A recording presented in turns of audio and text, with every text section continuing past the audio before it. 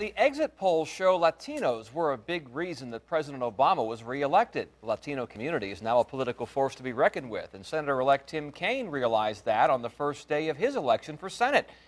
Andy Fox is here on the impact of Latinos in this year's election. Andy? Tom, there is no doubt this was a big headline in the election. Tim Kaine says he won in part because he connected with the Latino community. Part of Tim Kaine's story is that between the fall of 1980 and the spring of 1981, Kaine did missionary work in Honduras, working with children in schools. Kaine was able to use that personal experience and his ability to speak Spanish to reach out to potential voters.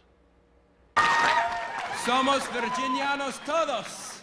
That is Spanish for It's a Great Night to Be a Virginian. And candidate Tim Kaine spoke Spanish early and often every day on the campaign trail.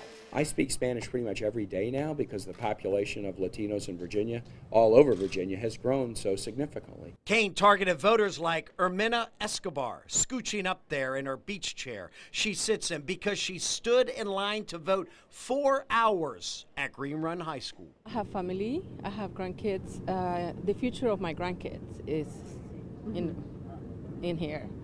And um, my father taught me that it was very important to get involved. Latinos like Escobar made a huge difference in the election. Exit polls showed they voted for President Obama 71% to Mitt Romney's 27%. Did you want to speak directly to people in the way that's that's most persuasive. Um, we decided early in the campaign that we would do some pretty extensive outreach directly to the approximately 200,000 registered Latino voters in Virginia. And if they went to Kaine's campaign website, they would perfectly understand everything Kaine stands for because it's all right there in Spanish. Whether it was on radio, TV, ads, newspapers to Latino voters. How important was Spanish to Kaine? Well, on election day, he did 20 radio interviews, five of them on Spanish only radio stations. People appreciate you asking for their support and asking directly in the way that's the most effective and that's most likely to be persuasive. They appreciate that too.